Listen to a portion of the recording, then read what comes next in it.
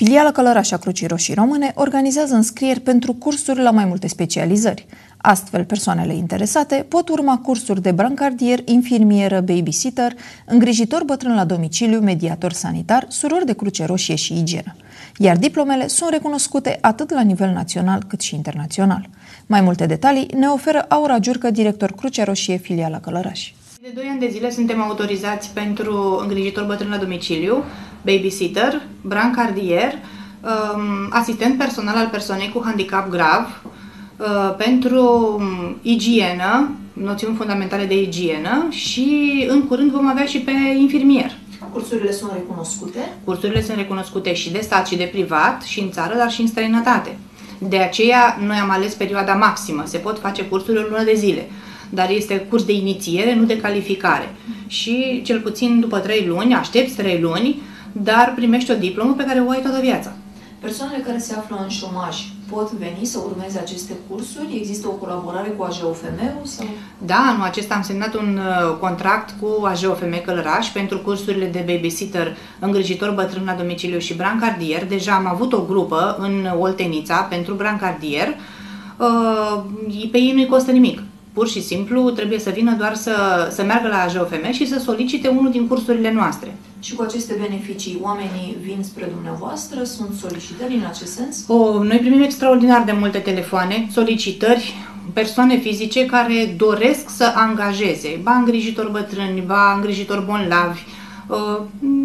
Păcat că lumea nu vine să se curseze. Deci chiar uh, există uh, foarte multă cerere, foarte mare cerere pentru aceste Uh, calificări, dar oamenii nu prea vor să facă aceste cursuri și salariile sunt foarte bune. De exemplu, pentru un babysitter în București se plătește 40 de milioane pe lună.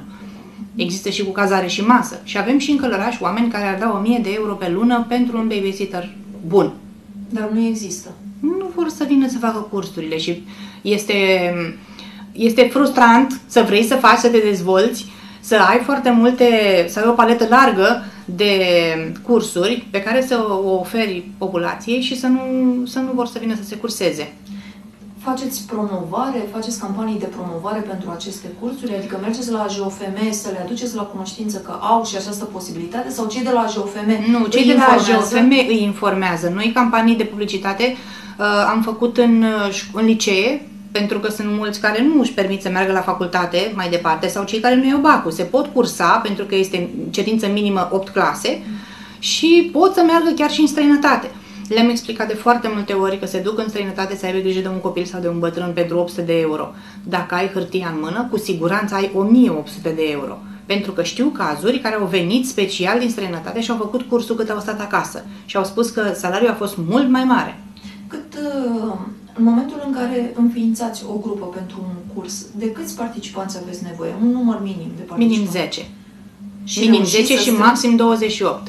Reușiți să strângeți 10 uh, La întâi, nu mâine, poi mine, vom începe un curs de asistent personal al persoanei cu handicap grav, pentru că primăriile au nevoie să intre în legalitate, sunt foarte multe persoane angajate ca necalificate și ca să intre în legalitate, primăria trebuie să organizeze uh, cursurile acestea pentru cei care îngrijesc de persoanele cu handicap și vom începe pentru primăria Vlad Țepeș. Am terminat deja Ștefan cel Mare, Jegălia și Independența. Și vom mai începe și îngrijitor bătrân la domiciliu. În aceste, dom- aceste domenii sunt mai solicitate? Um, asistenții, personali, asistenții personali sunt deja angajați ai primăriilor și uh, trebuie să, să facă acest curs, trebuie să aibă această calificare. Mai nou, primăriile încep să-și dezvolte pe proiecte um, acest departament de îngrijire bătrân la domiciliu și au nevoie de îngrijitori bătrâni la domiciliu cu calificarea aceasta. Și persoanele vin să se califice în speranța că se vor angaja. Uh, la îngrijitor bătrân la domiciliu am 5 din uh, Ialomița și 5 din Călăraș. Care ar fi cel mai căutat curs? Brancardier.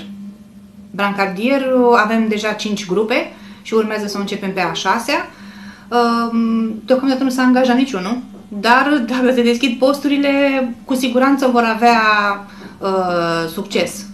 Deja brancardierii din Spitalul Călăraș, care au fost angajați ca și necalificați pe brancardier, majoritatea au făcut curs și acum au diplomă.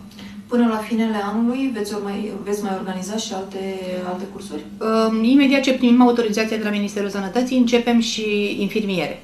Uh-huh. Pentru că la infirmiere deja avem grupă formată de 15 persoane și putem să începem oricând, dar ne mai trebuie o hârtiuță.